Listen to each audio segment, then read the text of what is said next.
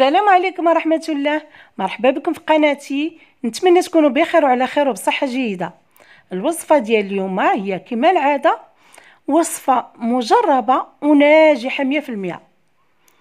جربوها وردوا على الخبر راها وصفة كتبان النتيجة ديالها من الاستعمال الأول. هاد الوصفة هي وصفة طبيعية كتحيد لنا الكلف ماشي أي كلف ماشي الكلف اللي كيكون اللون ديالو بني وإنما داك الكلف اللي كيكون آه كيكون قديم. شحال من سنة وكيكون ما بغاش يحيد بأي طريقة لا بالبوماد ولا بالوصفات الطبيعية. هاد الوصفة راه كتحيدو نهائيا. الكلف اللي ما تيبقاش بني اللي تيولي أسود إما كيكون في الأنف ولا في الخدود ولا في الجبهة وكاين اللي كيجي حتى في اللحيه ديالو. الكليف اللي السيدة كتحمل وكتولد وليدها ولا بنتها كيكبر والكليف كيكون باقي في وجه ديالها. كما أن هذه الوصفة كتحيد لنا واحد المشكل أو واحد الحالة اللي ما كتحيدش. جربوا هذه الوصفة جربوها وردوا عليه الخبر كتحيد لنا النمش. النمش اللي كيكون إما وراثي وإما آه كيكون هكذا لكثرة البياض ديال الوجه كيكون عندنا داك النمش.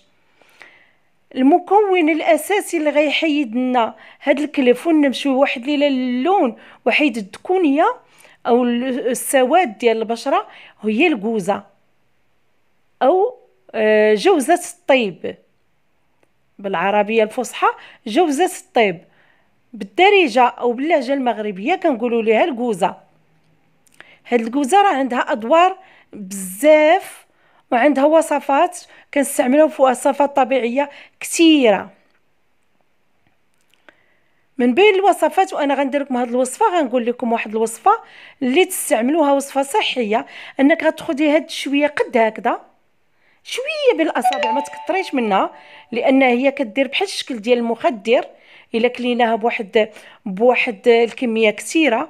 وغادي نديرو فوقها واحد جوج نقيطات ديال العسل وغادي ناكلوهم غير شوية وناكلوه. ومن بعد ما ناكلوها نشربوا فوقها أتاي سخون ولا الماء سخون.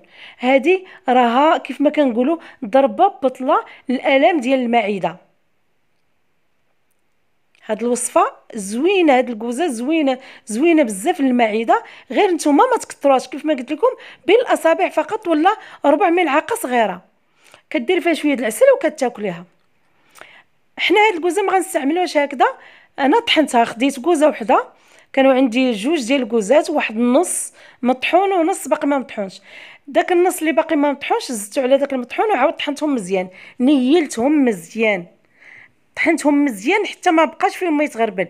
انت إلا ما كانش عندك الماكينة غطحنهم مزيان طحنيهم وغربليهم. المهم تكون نيلة غبرة.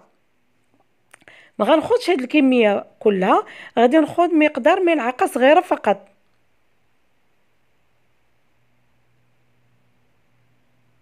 راه نيله باودر غبرة.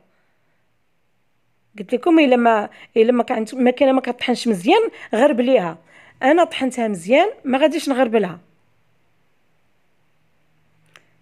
من بعد غادي نزيد المكون الثاني اللي هو القرفة. القرفة كيف ما عرفتوا راه كتكون عواد كبار غير أنا عندي بقى لي غير هذا الشيء غير هذا داك الآخر اللي كيكون آه في, في القرفة. كنت خديتها في رمضان وبقى لي هكذا مهرس.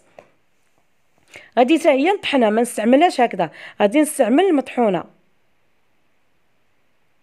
حتى هي غادي نستعمل منها ملعقة صغيرة. مطحونة حتى هي powder بودرة غبرة. إلا ما كانتش غبرة عاودي غربليها مزيان. لأن هاد الماسك راه ما بغيناش يجرح لنا البشرة ديالنا.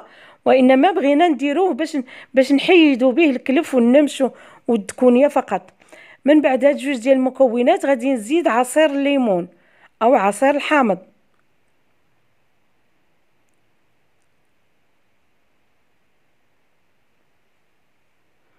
غادي نعصر شوية ديال الحامض لأنني غنحتاج غير ملعقة صغيرة. الحامضه ما عنديش فيها الماء بزاف. أنا وقفت التصوير حتى عصرت باش ما نطولش الفيديو حتى عصرت الحامضة اللي عندي. غادي ناخذ منها قيمة ملعقة صغيرة.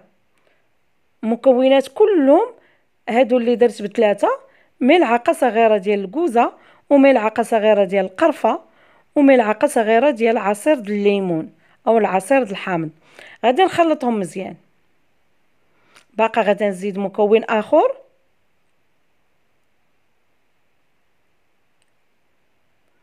وهاد المكونات ما يمكنش نعوضوهم بمكونات أخرى. هاد الوصفة راها ناجحة ناجحة ناجحة مزيان. إلا ما كانش عندك شي مكون من هاد المكونات ضروري تضحي شوية وتشريه لاننا ما غاداش نعوضوه المكون الرابع هو العسل. من الأحسن يكون عندك العسل ديال الليمون ولا شي عسل بيض أنا ما عنديش عندي غير هذا غادي نستعمله يعني إلا كان ما عندكش العسل الأبيض استعملي أي عسل.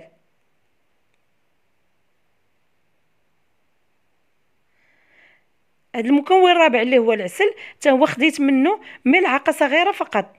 مكونات ساهلين وغادي تشوفي الفيديو المره واحدة وغتعقلي عليهم والمقادير نفس المقدار.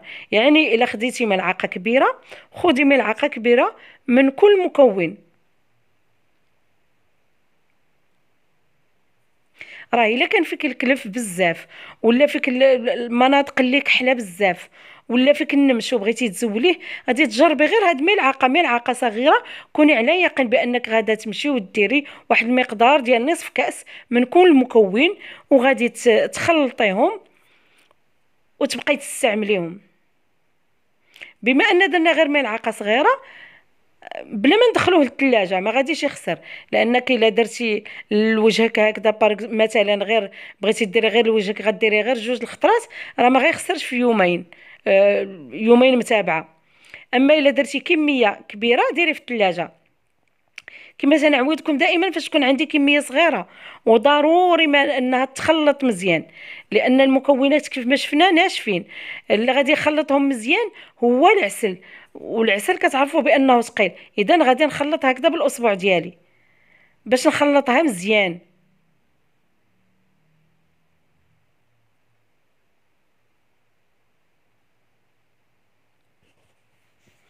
كنخلط بالاصبع ديالي أمامكم باش حتى نتوما تستعملوا هذه الطريقة لأنك لا خلطتي غير بالملعقة ما كيتخلطش مزيان.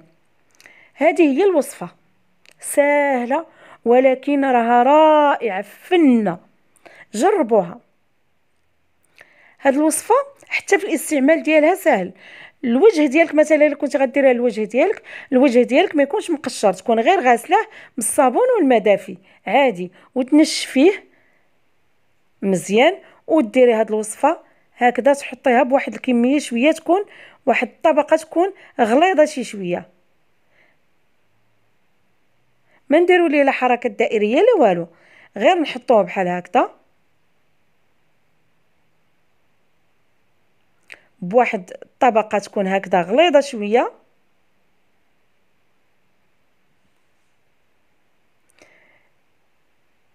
نحطو على الأماكن ديال الكلف ديالنا ولا ديال النمش. بحال الخدود والجبهه الأنف الأماكن اللي عندنا فيها الدكونية. ولا حتى اللي كيعاني واحد البنت مؤخرا تفكرت دابا كتقول لي بأنها كتعاني من ديك الكحولية اللي كتكون دايرة بالفم. ولا تحت العينين.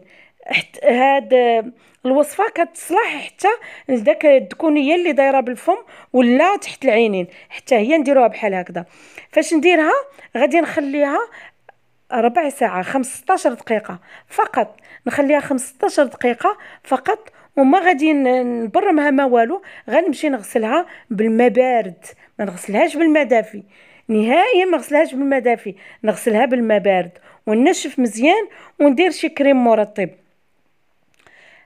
هاد الوصفة استعمليها يوميا مرة واحدة في النهار. استعملتيها النهار الأول غادي تبان لك النتيجة.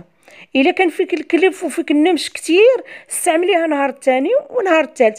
قد ما بانت لك النتيجة قد ما بقيت تستعمليها حتى يولي وجهك بيض بحال البلارة. غادي يولي رائع جربوها. على ضمانتي ورجعوا لي الخبر. بدون تقشير بلا والو. ديريها. على البشرة تكون تكون نقية.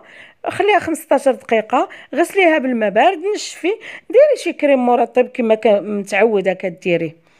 وقد ما قلت لك قد ما كان هذاك الكنف قديم وواعر قد ما غياخذ لك المدة. أما إلا كان غير شوية راه من من التجربة الأولى غادي يحيد نهائيا. نتمنى أن هذه الوصفه تعجبكم. ديروا لي لايك تشاركوا في قناتي وتضغطوا على الجرس. والسلام عليكم ورحمة الله.